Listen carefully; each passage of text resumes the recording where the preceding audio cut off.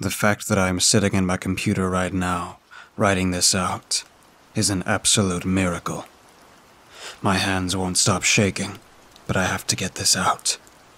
If I can prevent even one person from experiencing what I have just been through, then it will be worth it to push myself through writing this.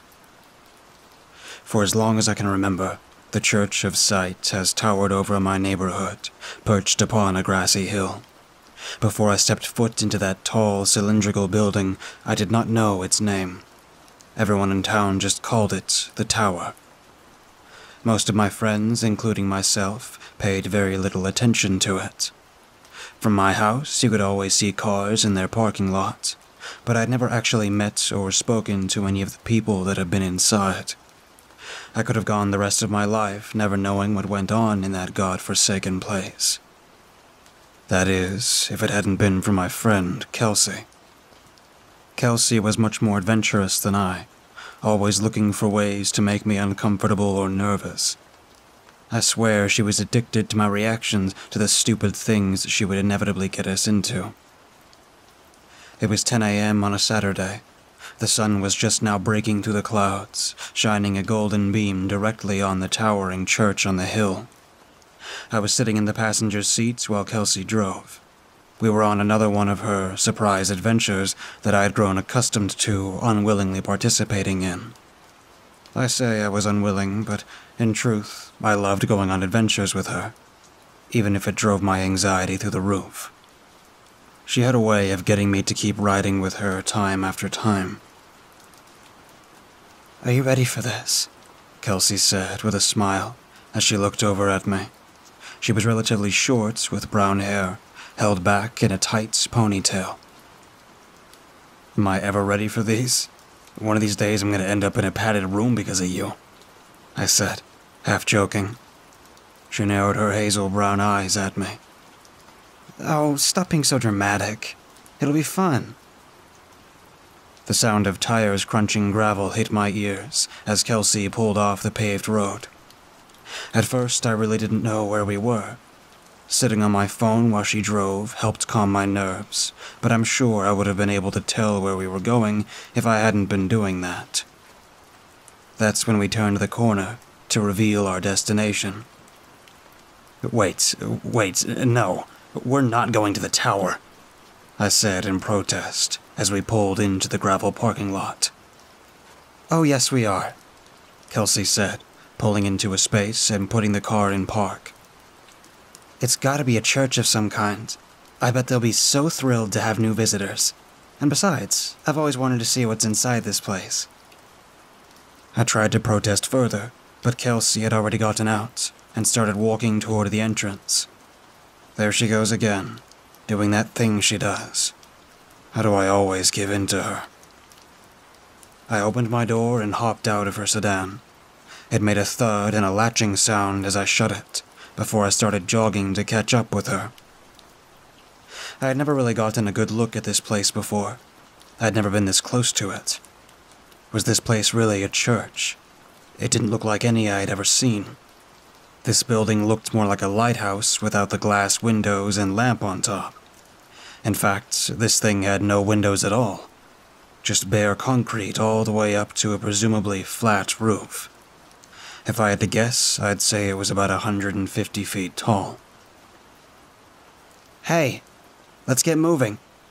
Kelsey called over to me from the large double doors, what looked like the only way in or out. I looked down from the tower to see her waving at me. Taking a deep breath before deciding to follow, I jogged over to her.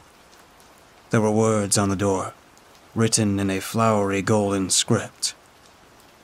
For I was blind, but now I can see. What was that supposed to mean? I didn't have much time to ponder it before Kelsey pushed open one of the doors and walked inside. I followed quickly after, against my best judgment. Once inside, I was shocked to find the interior to be well furnished.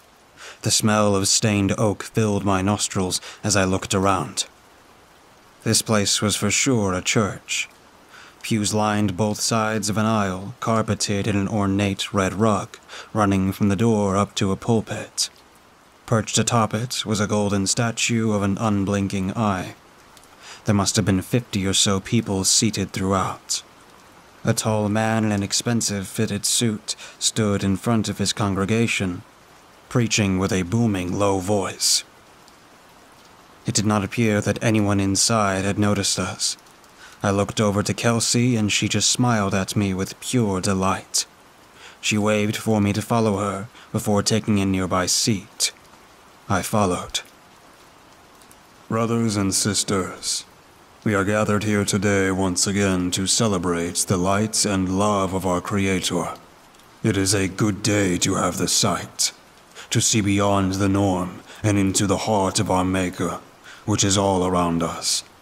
Let us not. The pastor stopped suddenly, his eyes darting to meet mine with a snap that was almost audible. It seems as though we have two that have not been awakened, my brothers and sisters. My heart stopped. The man at the pulpit would not break his gaze, and I was so shocked that I couldn't look away. Not until I felt a tug on my arm. Kelsey was trying to get my attention. I looked over to her. She looked at me, and then looked forward, pointing. I looked back to find that everyone in the room was staring directly at me. The air in the room felt cold and still. Something was not right. It seemed as though we were not welcome here. I think we should go, I said to Kelsey in a low voice. She nodded, and we stood up to leave. We didn't make it to the middle aisle before I felt a strong hand on my shoulder. Not so fast. Pastor Jeff would like you to come up front. The voice behind me was smooth and honeyed. If not for our current situation, I would call it pleasant. I looked over to Kelsey, and another man had hands on her too. The grip he had on me was strong, and I knew I could not fight it. Before I could think of anything else to do, we were being marched up the center aisle towards Pastor Jeff. I darted my eyes left and right to find everyone still staring us down with no expressions on their faces. Looking forward, I saw Jeff with his arms wide, now standing down and in front of the pulpit. The walk seemed to slow time, and my heart raced faster and faster. The only sound apart from our footsteps was the echoing tick tock of the large clock on the wall behind the pulpit.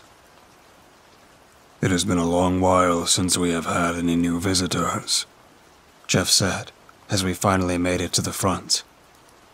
Kelsey suddenly burst into tears as she fell to her knees. Now, now, child, there is nothing to fear. We are here to give those who are worthy of it the sight. Kelsey looked over at me, eyes red with a look of panic in her face. My throat went cold at the sight, and my hands started shaking. Two men appeared out of a doorway to our right, carrying silver plates with matching goblets. White steam rose from them as they approached us. All will be explained in due time, but right now, we must administer the test. Jeff motioned for the two men to start. The man holding me pulled my arms behind my back, tying them together with a large zip tie. The same was done to Kelsey before I felt a foot in the back of my knee. Falling to the ground with a thud, I let out a yell before promptly being pulled back up to sit on my knees. Listen, man, I'm sorry. I think we're at the wrong place. Just let us go. I pleaded, my eyes now starting to swell. Oh, but you are mistaken. You are exactly where you need to be. Jeff spoke with a harsher tone. I will open your eyes. Administer the test. The two men holding the goblets approached Kelsey and I, setting down the plates before bringing the goblets to our lips. I won't drink it, I shouted before getting another kick, this time in the back. I promise we will let you go once you drink, Jeff said coldly. I looked over at Kelsey, and she nodded at me. Maybe he's telling the truth. I looked back and nodded. Before I could think on it any longer, I had the goblet up against my lips. It smelled terrible. The man holding it raised it, and the liquid went in my mouth before I swallowed hard. It tasted like black tea, not as bad as I imagined. For a moment, I felt nothing. Then it hit me. Fire in my stomach. Worse than any I had felt before. My head began to spin as the room seemed to go dark. Everything around me disappeared except for Jeff, who was now face to face with me, his hand under my chin. His eyes went black and his skin started to smolder. The smell of burning flesh made me instantly sick, and I began to vomit. Falling to the floor, I retched over and over before puke turned into dry heaves. I could hardly breathe between my stomach reflexes, desperately trying to expel anything that might still be inside. Jeff stood up, looking off to his congregation. It appears as though the boy is not worthy. The only thing left to do is to prep the girl for her secondary initiation. Jeff's words echoed in my head as I drifted in and out before finally blacking out. The sound of rusted chains swinging slowly back and forth woke me. At first, I did not remember what had happened or where I was. Slowly, my vision returns to me. What I saw dropped my heart into my stomach. Corpses rotting all around me. The sound of insects slowly feasting on dead flesh filled my ears. The smell was unbearable. I was lying face down in a pile of dead bodies. I pressed my hands into the pile. A sickening wet suction sound filled the room as I pressed against them to pick myself up. Stepping carefully over the bodies, I made it out of the pile. My hands were covered in blood, and my stomach soured. The memory of all that had happened started coming back. Where's Kelsey? I jumped to my feet and started looking everywhere that I could. My hands no longer bound, I started rattling the gate, holding me in this strange chain link cell. To my surprise, the gate was not latched in any way. It swung open right away. Who the hell captures someone and places them in an unlocked cell? I didn't stop to ponder. I had to find Kelsey. In front of me was a hallway. It looked as though I was in an old World War II underground concrete bunker. Dim bulbs on the ceiling gave little light, casting ominous shadows on the walls. Lacking any other options for paths to take, I started walking slowly toward whatever may lay at the end of that hall. The corridor that I found myself in was not very wide. I never knew that tight spaces terrified me before then, but as I kept moving, I felt those walls closing in. Suddenly, I heard footsteps, my heart started racing at the thought of finding more of those people down here. Then it happened. Everything was black. Pitch black. My breathing quickly got out of control. My stuttered, panicked breath now filled my ears. Lights out again. Oh my. That soothing, honeyed voice filled the space around me.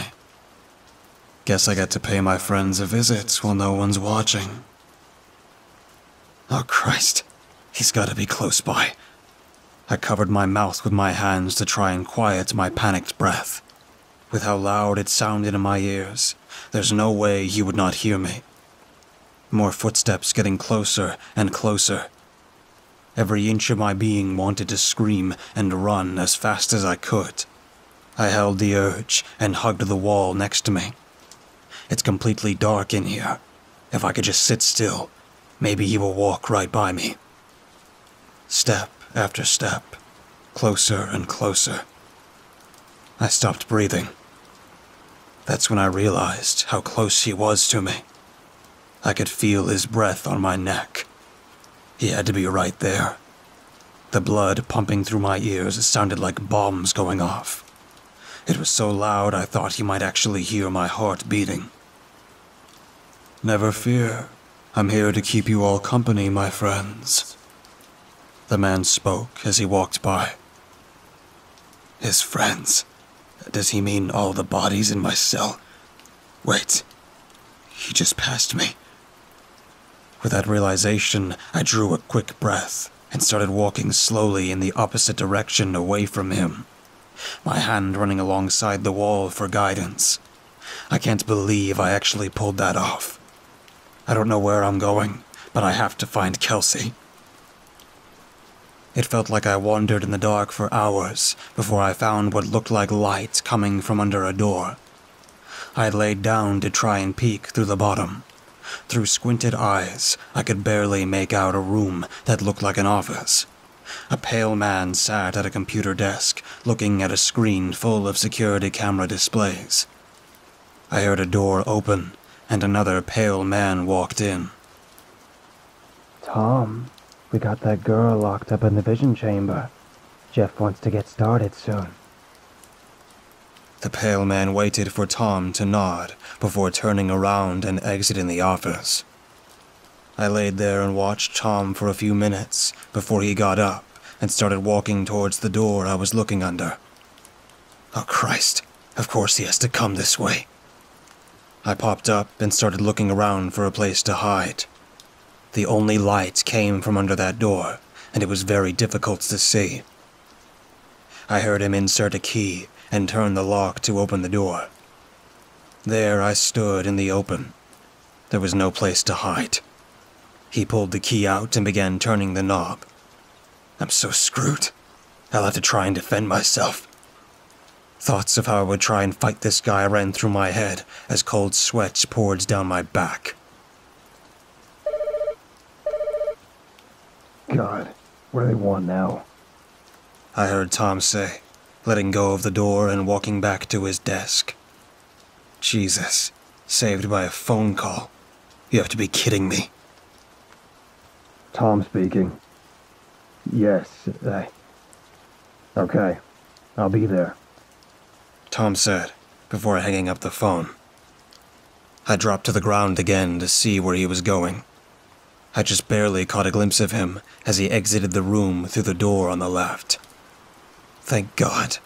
I think he left the door unlocked too. I jumped up and opened the door in front of me. The room was small and smelled of piss. It took a moment for my eyes to adjust to the light, but I started searching Tom's desk as soon as they did.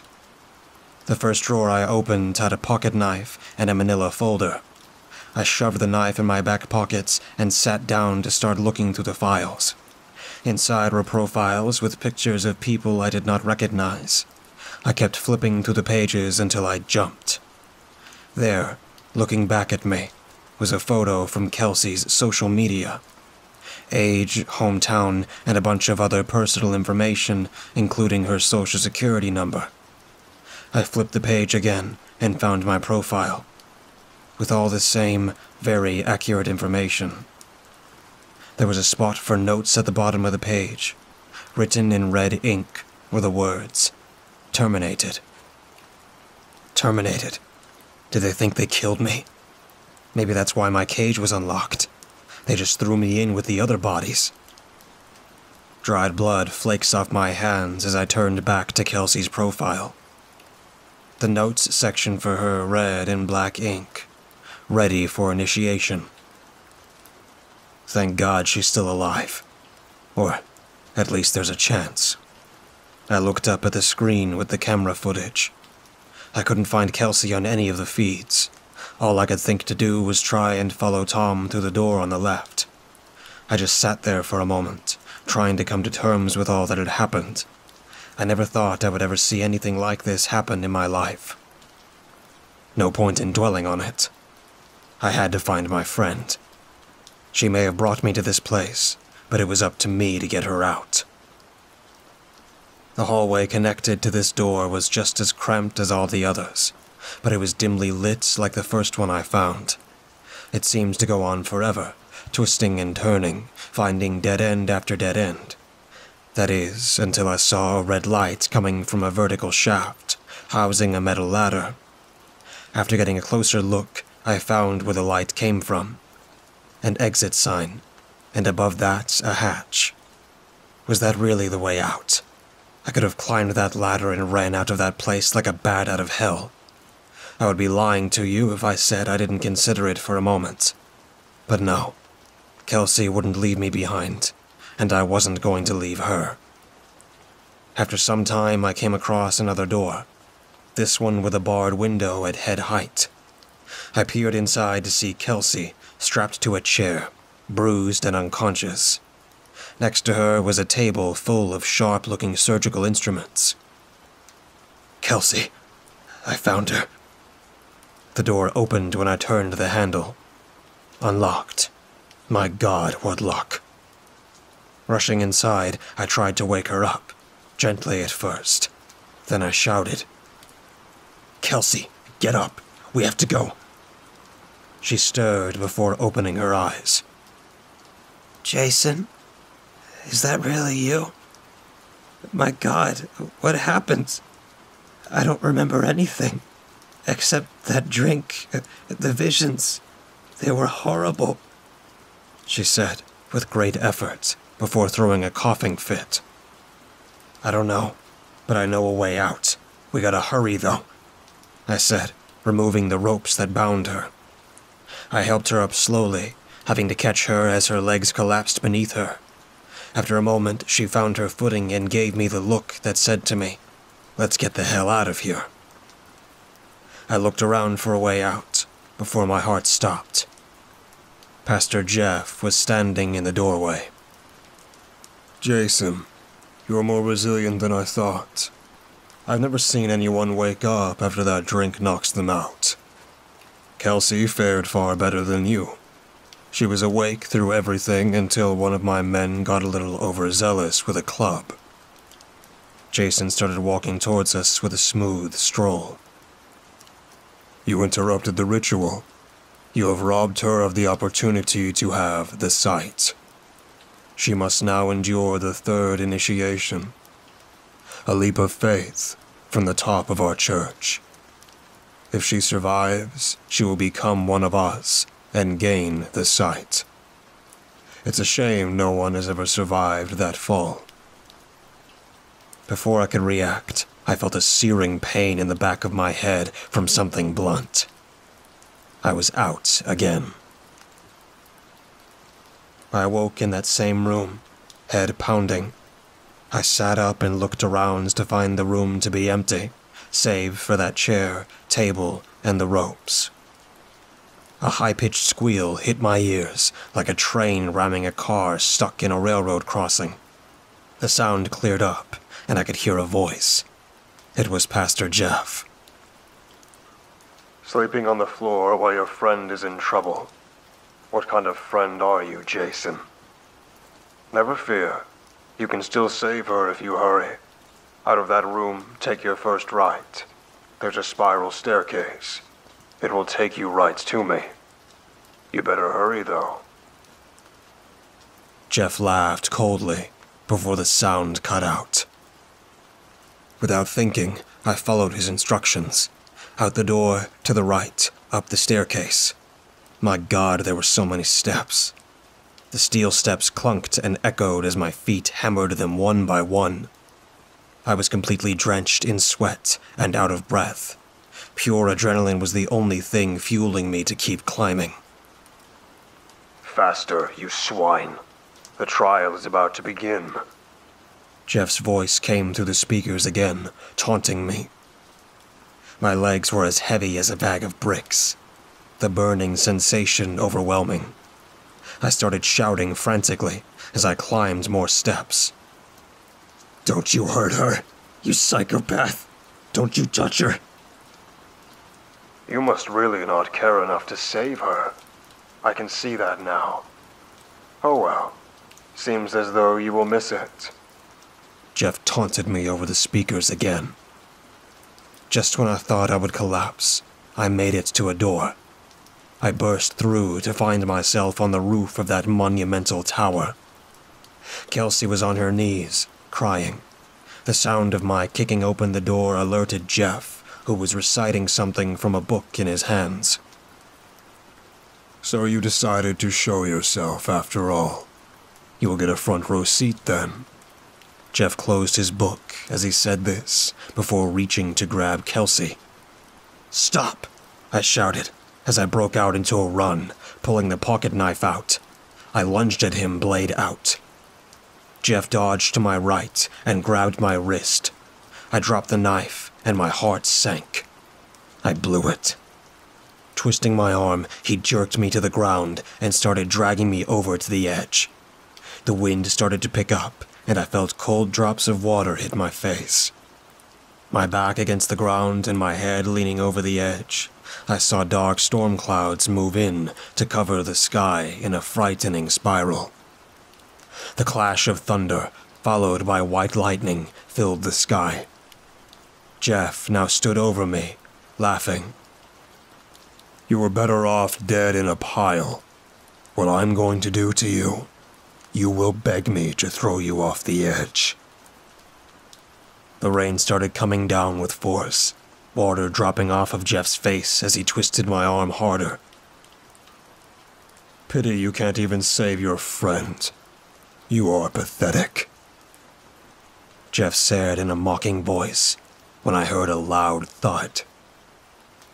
I watched as Jeff fell forward and off the building. Looking back down, I saw Kelsey standing over me, hand stretched out to help me up.